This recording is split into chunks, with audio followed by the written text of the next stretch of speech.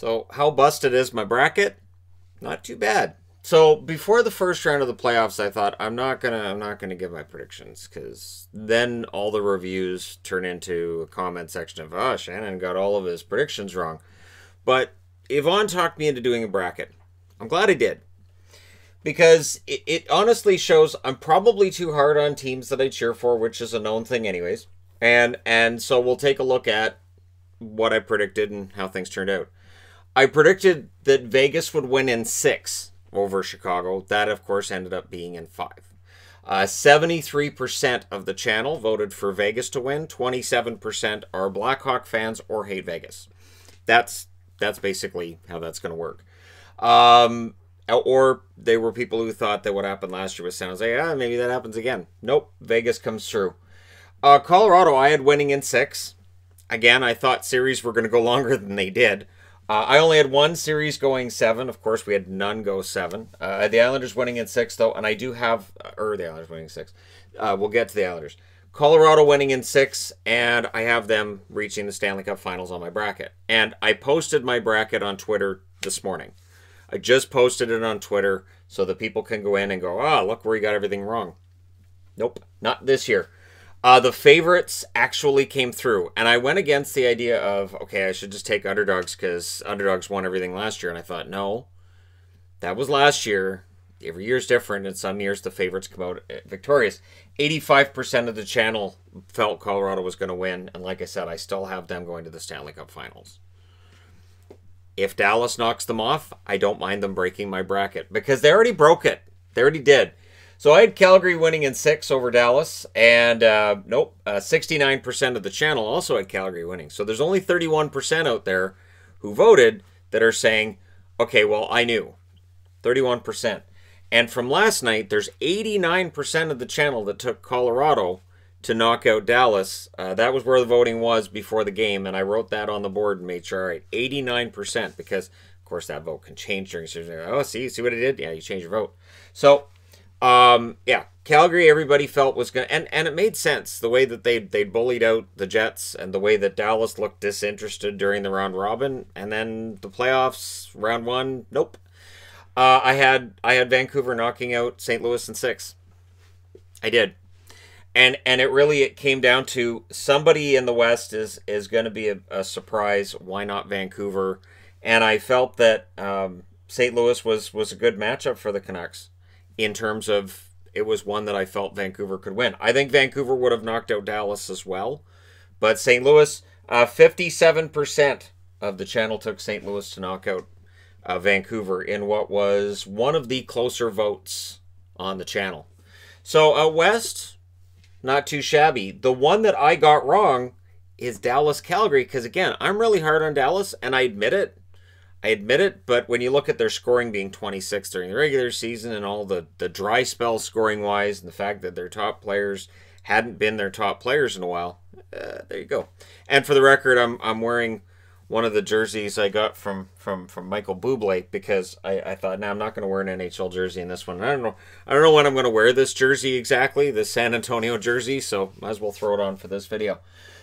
so it's just a little big for me. So I know Michael has no say in that. He just goes on tour and they give him whatever.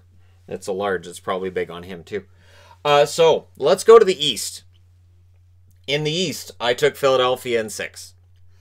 Because again, I think six games. Yeah, that, yeah, six. I, I don't like to take five uh, in most cases because I, I don't think most series are going to go five. Uh, 77% of the channel was taking Philadelphia in that series. So one of the more lopsided of the of the polls that were being taken before round one. Tampa Bay I had in five. I had them winning the cup. Again, you can go and look. I cannot retroactively change that bracket.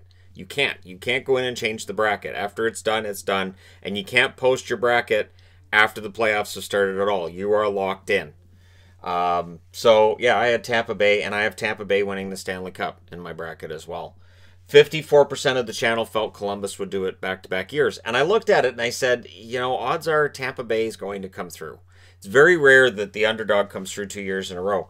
And oddly enough, it's Dallas that came to mind with that, where Dallas had been beaten by Edmonton one year, and then it just, yeah, Edmonton didn't own Dallas. Dallas was pretty PO'd after that and took took Edmonton out.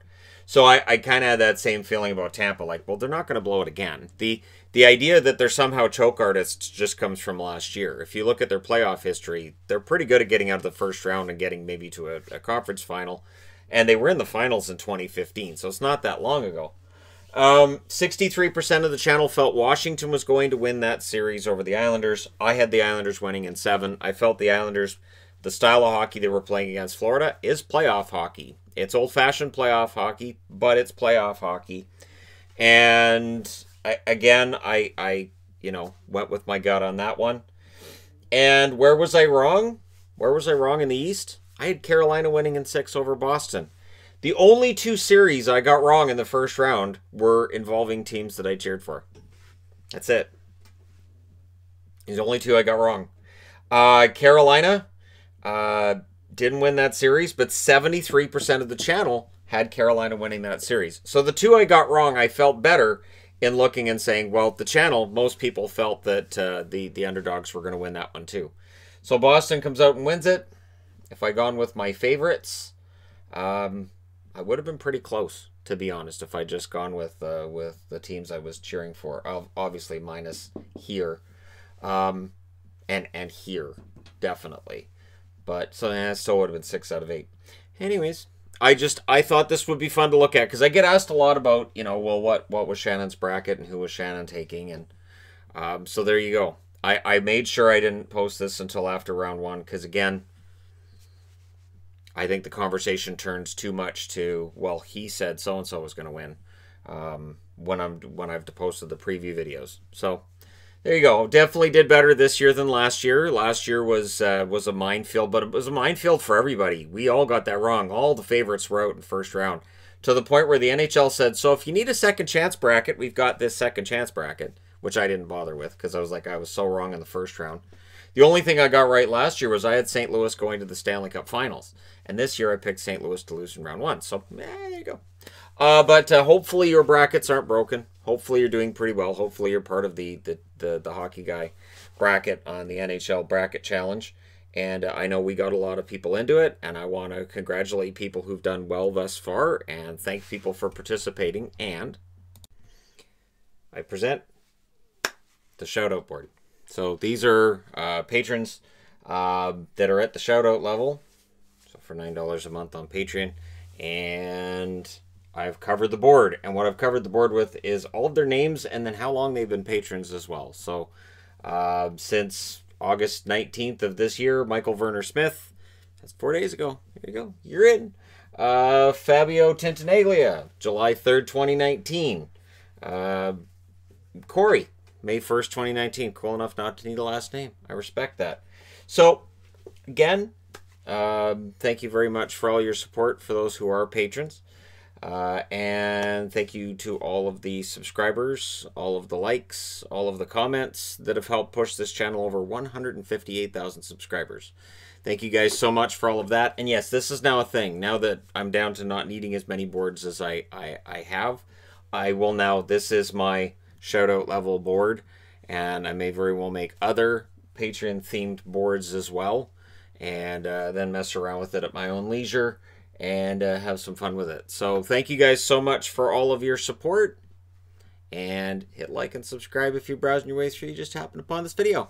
I will talk to you guys again soon.